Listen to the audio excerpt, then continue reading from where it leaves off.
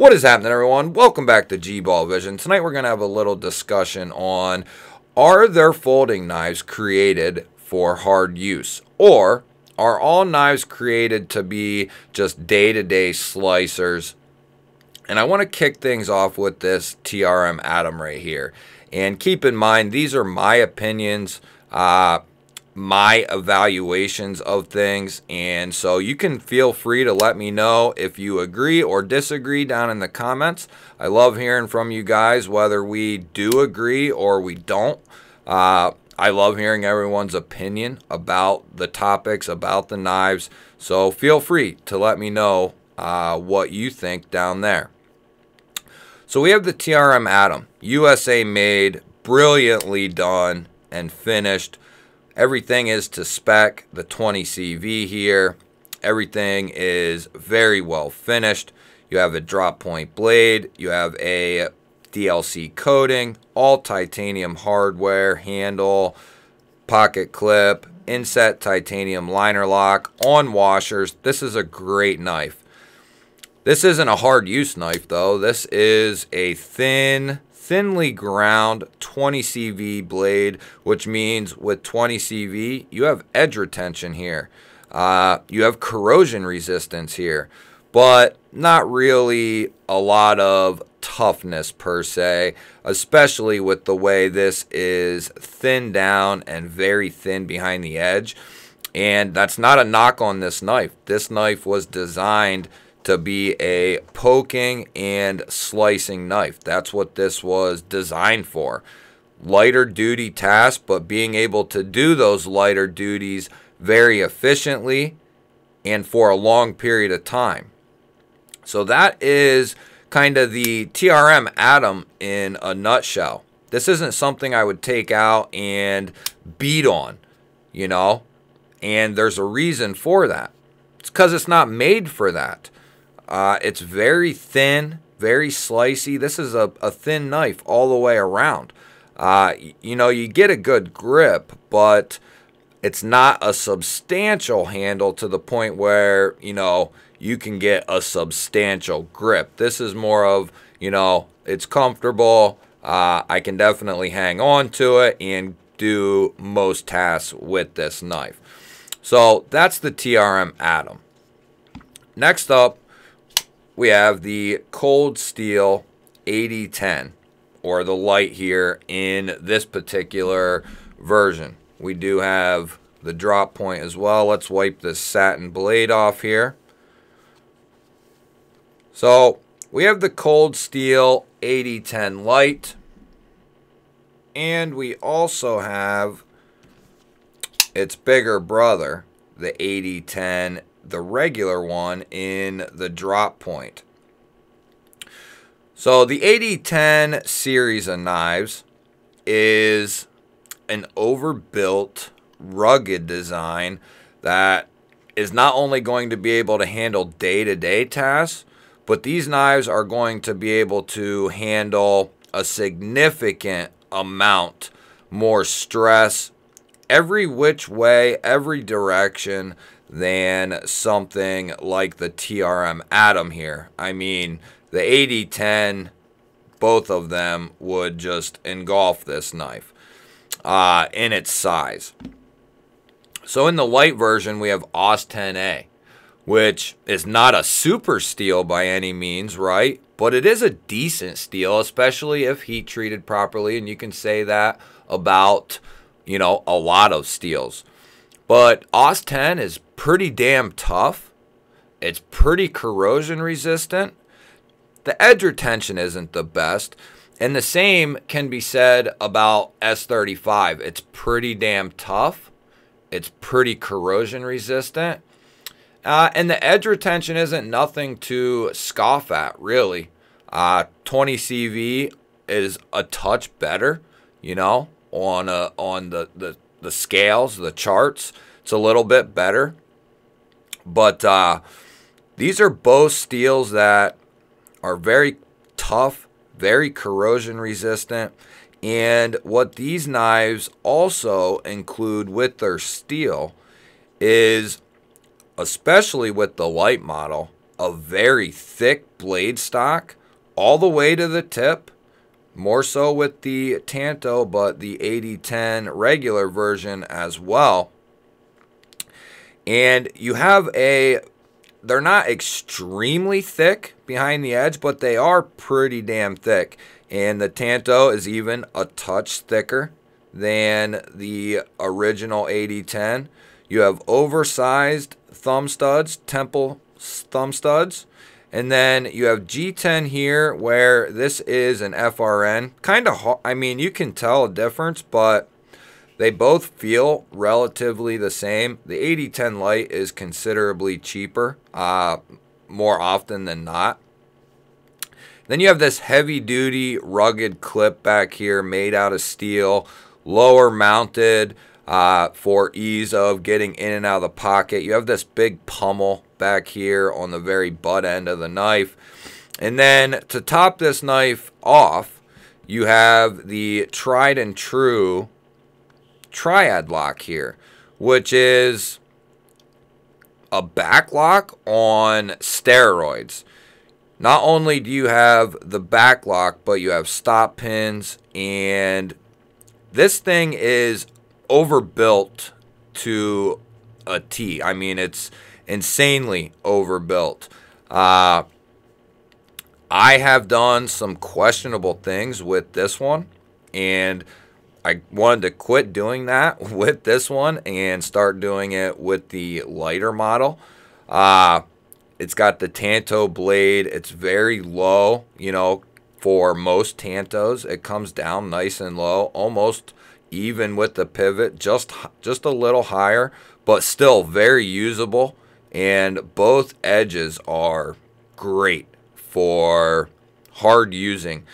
Not only are you still going to be able to poke with this thing, but you're going to get and be able to do a fair amount of longer slicing. But with this blade stock and the design of this blade shape here, the design of the drop point. These are built to be beat on and beat on and beat on. That triad lock is, I believe, still to this day, you know, the most resistant to uh, lock failures than anything else. Uh, the compression lock is probably gaining ground, but I don't, it's not, I don't think, uh, you'd have to basically bust the stop pin in this knife or snap the blade before this lock will fail. And my guess is the blade would snap depending on, you know, in what direction and how. Uh, up and down, it's not going to happen.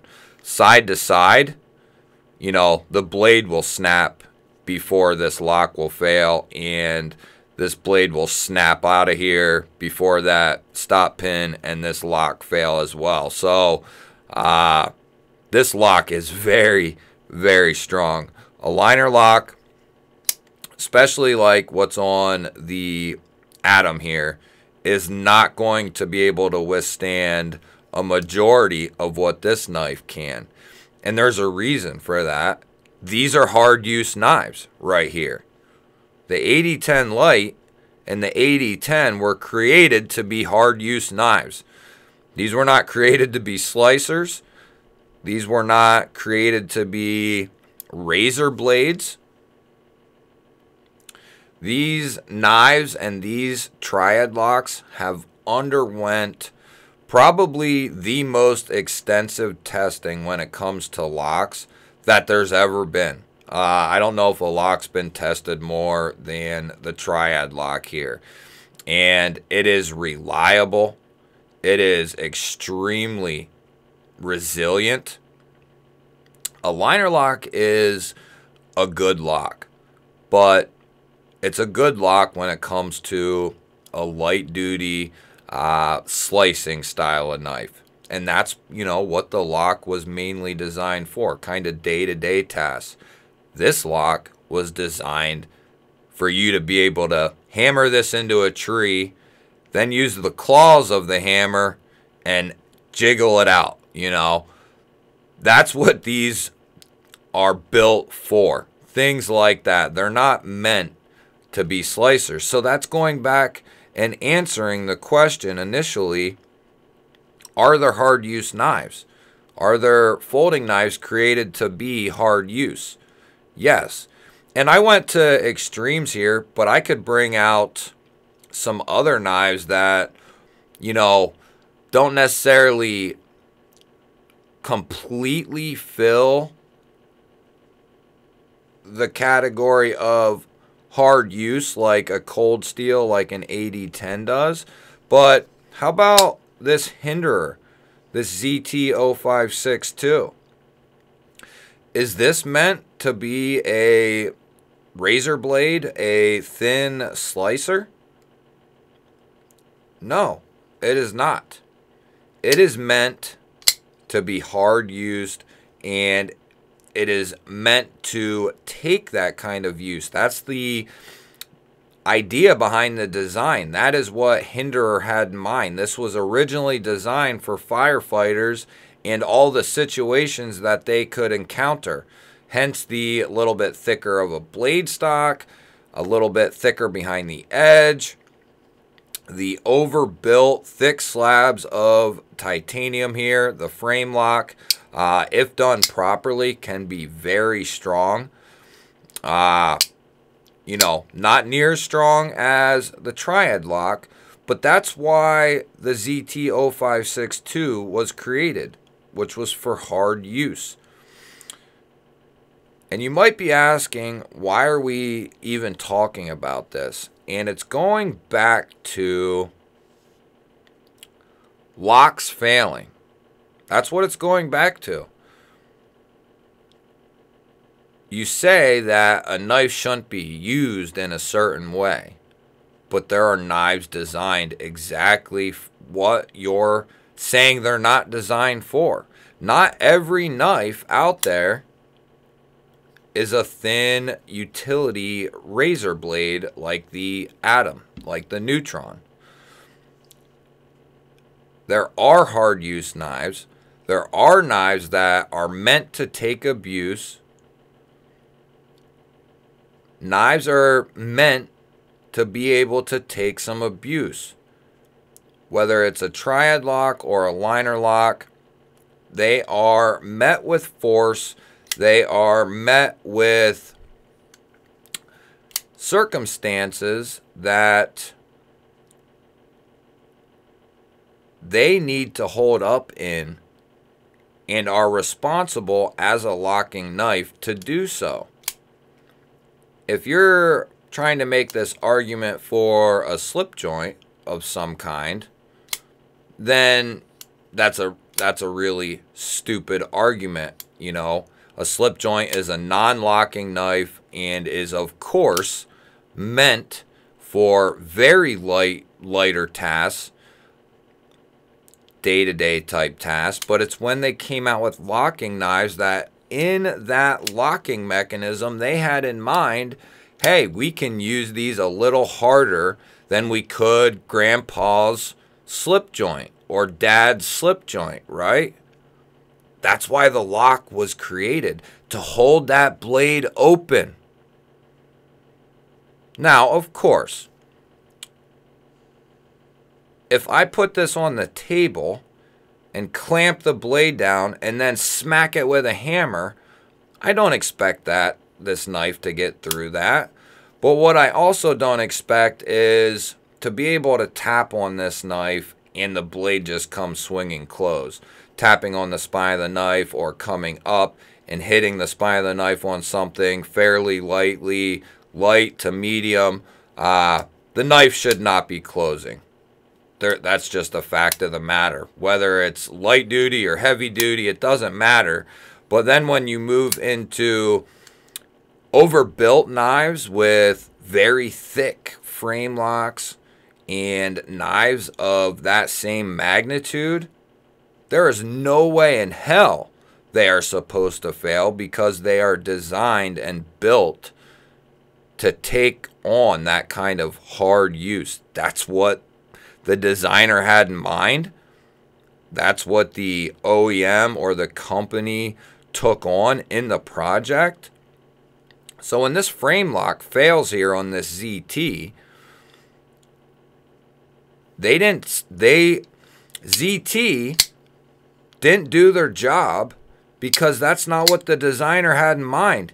He didn't want a pretty looking knife that uh, just cut things, you know, and was a very light duty user.